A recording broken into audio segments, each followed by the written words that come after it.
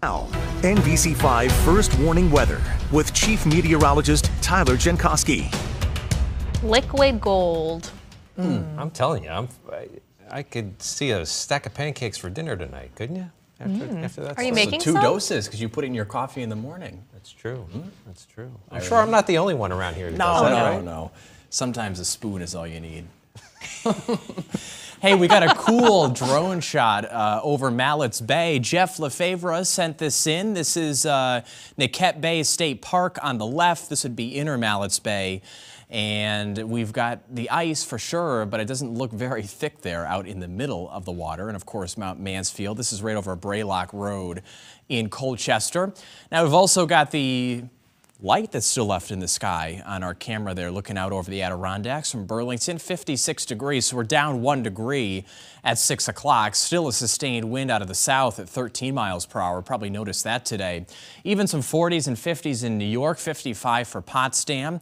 Got closer to 60 in parts of Rutland and Bennington counties too but now we've got a 52 in Rutland. But the only rain is still there up over far northern portions of New York and that will continue to drift north and east. So the northern Champlain Islands probably seeing a little bit of wetness right now, but it's not very heavy and we're mostly quiet for the rest of the night. And for the daytime tomorrow, just a lot of clouds in play.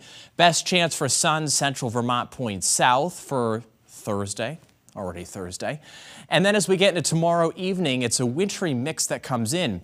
So yes, it's still mild tomorrow, but just in time, some cold air comes down and meets up with this moisture that's coming in. So the pink color means a mix. It's really not much pure snow. It would be a mix of everything, even some plain raindrops. And that keeps going through into Friday morning, about 8 o'clock in the morning Friday. That's when it starts to exit and it turns windy and cold with some breaks of sun by Friday afternoon. So in terms of how much snow, it's not a lot and it's kind of the icy, messy kind that's crunchy. In this white color, could be a dusting to two inches. That's Plattsburgh Point South. Best area seeing the chance for two plus would be Malone over towards about Altona. And then northern Vermont down through Burlington and Middlebury, a dusting to two inches of that sloppy, crunchy, icy mess for Friday morning. Doesn't last very long. Shouldn't even see much snow accumulation south of Route 4. But the ice potential is there. This would be a glaze ice potential that could make it slippery. Now, it is warm, obviously, going into Friday morning, so I don't think that's a slam dunk forecast, but the potential is at least there as that moisture comes overhead and meets up with the incoming cold. So we'll watch it closely. This night is not cold at all, just about 40 in many areas.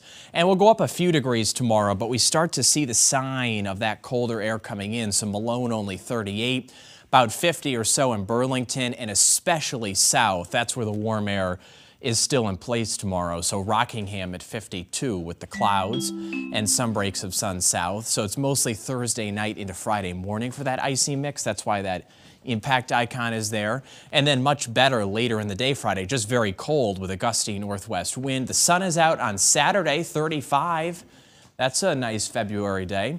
And then the clouds are back for Sunday and Monday, maybe even some rain showers by President's Day. Alice, Brian? All right, Tyler.